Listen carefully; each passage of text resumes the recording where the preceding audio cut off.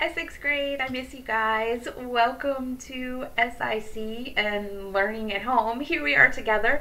Um, I am going to, each Monday, I'm going to post some of these videos, or not some, but a video, um, and kind of talk you through what you're going to be doing each week. If you look on the screen, you will see that there's a weekly calendar here, and you can see this one is for this week from April 6th to April 10th.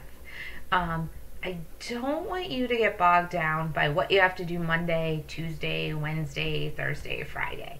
The idea is that I'm going to chunk all of your assignments, put them put a little bit in for each day of class, and everything is due by Friday. So, if you decide that you want to do like Monday, Tuesday, and Wednesdays all on Monday, by all means, feel free. You can do that, get it out of the way, and be done with it. Or if Monday's really busy or you have things in another class, you could wait till Thursday to do your SIC assignments. So, really, how you do it is up to you. You can turn them in throughout the week, or you can wait and turn everything in by Friday. All of your assignments from now on are going to be due by Friday at 8 o'clock for this class. Um, so I just want you to kind of give it your best go. Do do the best that you can. There are not grades yet, so don't stress out about that. But this is just to keep things moving, like kind of like they were in the classroom and get you back to a normal schedule.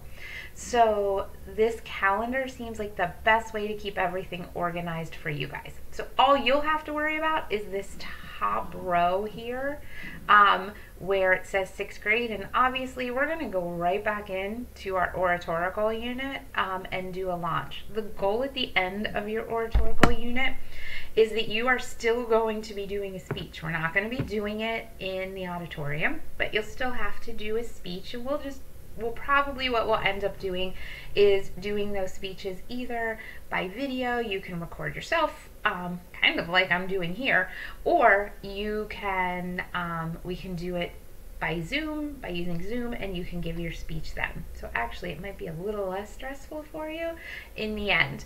Um, if you take a look, I just want to walk you through this and how it's going to look each week. I will have a video like this for you pretty much every Monday so you can watch, and I will try my hardest to keep it short.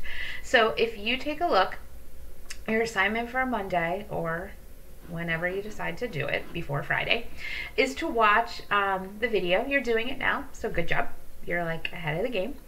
You need to respond to a question in Google Classroom, and if you look into our assignments, and you will see that there is a question about giving two tips for a great speech. So basically, if you were asked to give a speech right now with no instruction, what are two things you would keep in mind to make sure that you gave the best speech you could possibly give. This is kind of like one of our do nows, but we're just going to post it online. And then that's all you need to do. On Tuesday, I have uploaded a PowerPoint for you, and you're going to look through the tips for great speeches. Um, and you're going to respond to a little question that I have there and then on Wednesday, you're going to read through your peers' responses and comment or reply to two posts. So you can look back through either one of these. I don't care if you want to go back and respond to the questions from the first day when we were looking at tips or whether you want to reflect on the question from Tuesday. Either one is okay. I just want you to respond to two different peer posts. So you might say something like, oh, I that's actually one of the tips I thought of. I totally agree with that. Did you think about this? Um, so it's just you looking at your peers' comments and interacting with them. And we'll be doing a lot of that because that's a good way for you guys to keep in contact with each other to really make your brains think. So that's all you need to worry about with the SIC calendar. I'm giving you off on Thursday and Friday because originally we were supposed to have off on Thursday and Friday for spring break. So no stress there. We're going to ease into the week. If you look down here at the bottom, I am going to have office hours now on Zoom, which means I will have um, and you're going to receive, or you may have already received, um, an invite to the Zoom office hours. They're going to be reoccurring, which means they're going to be at the same time each week. And you can see our time is going to be on Mondays, 10 to 11, on Tuesdays, um, 1 to 2. I gave you an afternoon one there. Or on Thursdays, again, um, 10 to 11 o'clock in the morning. So if you ever working on these assignments, you pull them up, you're not sure what you're supposed to do, and you have questions, you can always email and I'll always get back to you really quickly. But if not, if you want to just chat, you can come into one of these office hours and I will have Zoom up, I'll be at my desk, and we can just chat.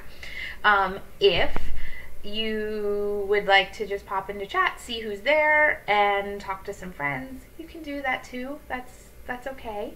Um, there may be times when we set up video conference times, some time to Zoom and chat with each other about something we're doing, something that's really specific. If that would happen, I would put those times up here in your weekly calendar.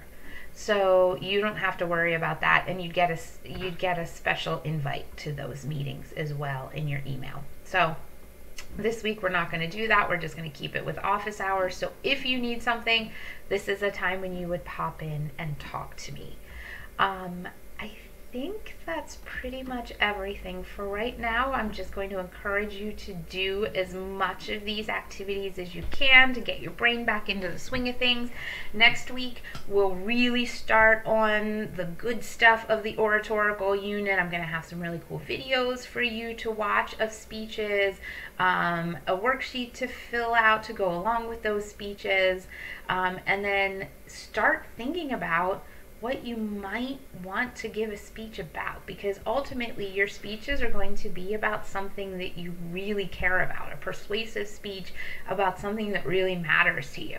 So there's a lot going on in the world right now that might matter to you, but you can also think of all sorts of things, like anything that's out there that that um, that you care about. So start thinking about that. Um, don't do too much research yet on that, but we're going to move into that eventually. So, guys, until then, um, it's great to check back in with you. If you need anything, let me know. Um, take care. See you. Bye.